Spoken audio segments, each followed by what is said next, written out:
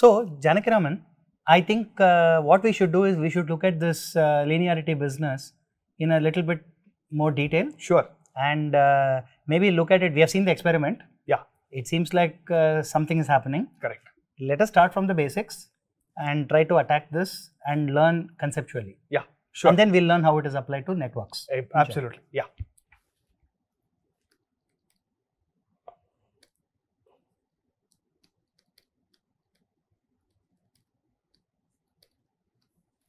So we started off this whole discussion saying that, you know, the we were trying to mix two signals. We were trying to, you know, amplify them, add them alpha one Yeah. v1 plus alpha two v2. We were trying to get that, Yeah. and then we noticed in today's, uh, you know, uh, measurement section that uh, the um, when you change these voltages for a fixed network, Yeah. the output voltage seems to be some combination of Scaling those scaled In some some some fashion. Yeah. Correct. Correct. So maybe uh, we said that it seems to be behaving in some linear fashion. Linear. So we need to understand what this whole business of linearity means. Right. So linearity seems to suggest some sort of a straight line somewhere, right? That's right. okay. So in fact, I'm noticing a pattern. You know why? Because now that you say it is related to a straight line, right? Yeah. I remember that uh, for the resistor, Yeah. we drew the uh, let's say Vi characteristic, Yeah. and we actually said it's a straight line passing through the origin because V equals IR, Yeah. right? Right.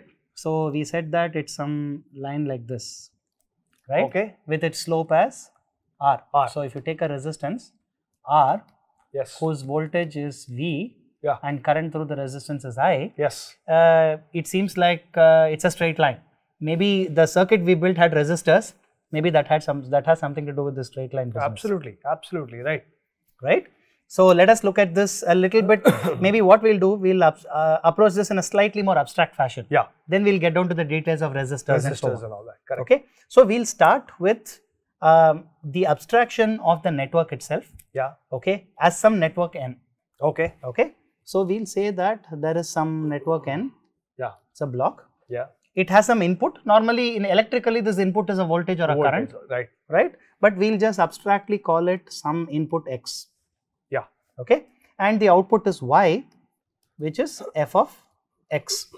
So uh, in the circuit we were looking at, X would be this V1 or V2. That y is right. would be the Vx that we were measuring across the 1k ohm. Perfect. That's right. So I'll just note that down as well. This would be V1 or V2. Yeah. And this would be Vx. Yeah. What we are measuring, Right. right? Uh, yeah, it's very important to point this out. Yes. So now, um, to figure out whether the uh, network, let's say this, let me call this network n. Yeah.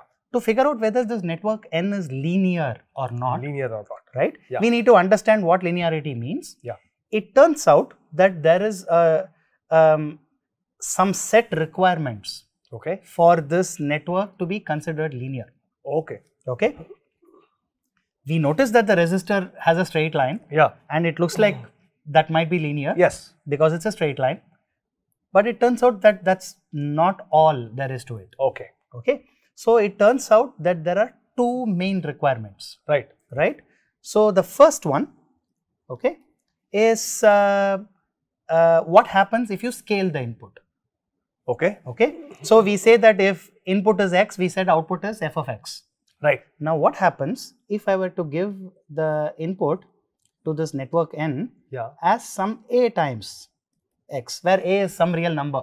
So it can be positive, negative, fraction, anything. It doesn't matter. Okay. Ah, Okay. a can be any real number. Okay. Can be positive, can be negative, it can be an integer, decimal, doesn't Yeah. matter. So of course, by definition, the output has to be equal to f of ax, F of Ax. right? Yeah. Now, if this f of ax Yeah.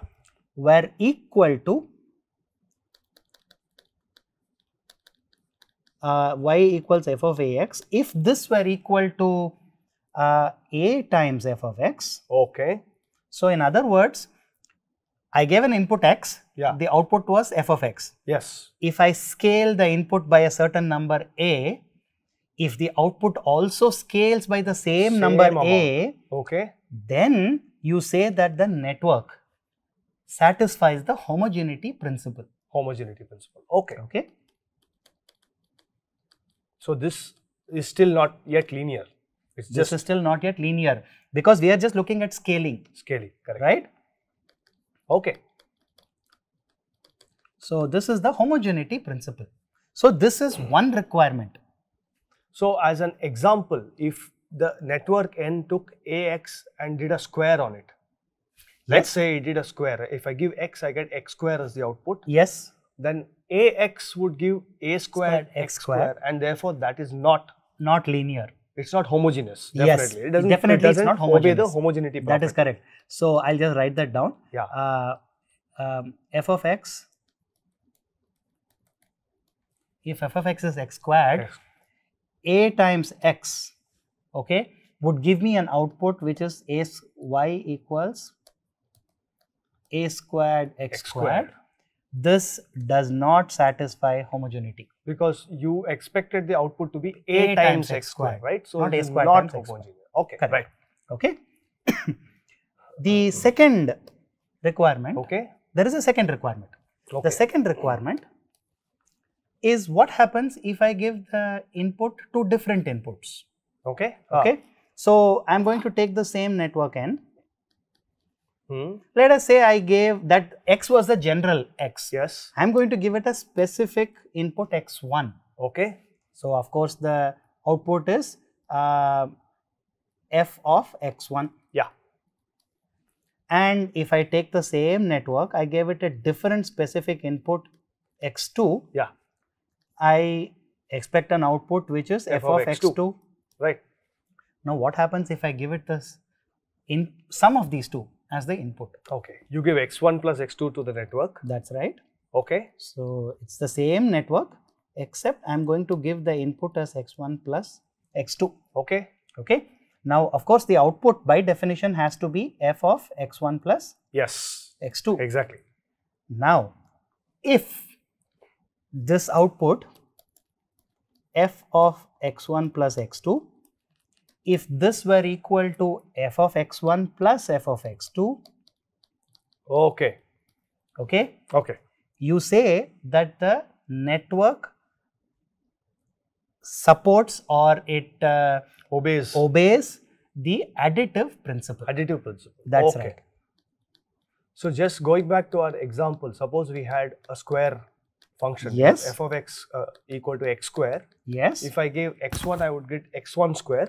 correct If I gave x2, I would get x2 square. correct so this f of x Yeah. is x squared. We'll go back to the same Yeah. example. So I'll call this y1 Yeah. and y2. y2 So y1 is, is x1 squared y and y2 is x2 squared by- and uh, this I'll call it y3. yeah So y3 is is x1 plus x2 the whole square. x1 plus x2 the whole squared.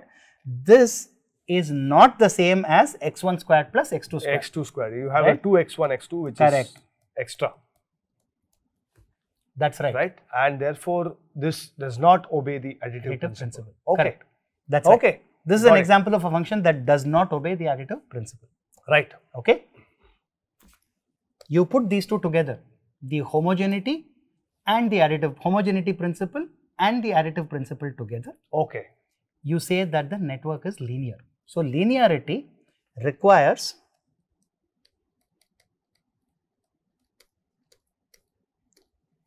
it requires homogeneity Okay. and additive property. So you're saying that now I have to look at an input which is a times x1 plus x2? That's or right. can it be a1 x1 plus a2 x2? You can look at a1 x1 plus a2 x2 Okay. because by homogeneity, I know that if I gave it a1 x1, I would get a1 times f of x1. Yes. If I gave it a2 x2, I would get a2 times f of x2. The additive principle tells you that You can a add them. you can add them. Okay. Okay. In fact, this these two properties together, you can say are put together under a single name. Okay. You can say if the network n supports or obeys both homogeneity and the additive principle, Yeah. you say that it obeys superposition. Oh. Okay. Okay. So the combination of these two okay, you say that if it obeys both, you say that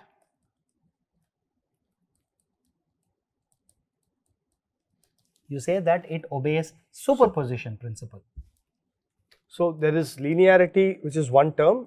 We have superposition, which seems to be another term now. That's right. Okay. So, in fact, by definition, in electric networks, you say that a network is linear if it obeys superposition because the word superposition includes both homogeneity and the additive property. Okay. And the network is linear if and only if it obeys superposition. okay. So, in other words, now I am going to um, write this in a general form. Right. It is exactly as what you expressed. I say that if the network n Yeah. has an input x, the output was uh, y equals f of x. Yeah. The network, if the network is linear, Yeah. you can apply superposition principle, Yes. which means if x1 gave an output, so x1 gave an output f of x1 Yeah. and x2 gave an output f of x2, Yeah. then if the input were a x1 plus b x2, Okay. the output y Yeah. is of course f of a x1 plus b x2, Right. right? If the network n is linear, this will be equal to a times f of x1 plus b times f of x2. That's actually maybe jumping a step, right? It's actually it is f of ax1 plus f of bx2. That is correct. So, uh, this is f of ax1 plus f of bx2. yeah. This is a times f of x1 plus From b the times f of homogeneity x. principle, That's correct. right? So, in the first step, we are using Just the homogeneity. the linearity. We are using the additive, Additive principle. principle. In the second step, we are using the homogeneity principle. So, the two put together says uh, the put the two put together leads to superposition. Right. Okay. Right. And now, this if the network n is linear, Yeah. this is valid. Correct. This would be true. Right. Okay. The converse is also true. If you take a network and it obeys superposition, you try, you run an experiment on your network, you apply x1, find out what f of x1 is, apply x2, what f of x2 is. If you actually went in and applied ax1 plus bx2, and if you actually get a times f of x1 plus b times f of x2, X2. it is clear that the network has to be linear. Okay. It is because it is obeying superposition.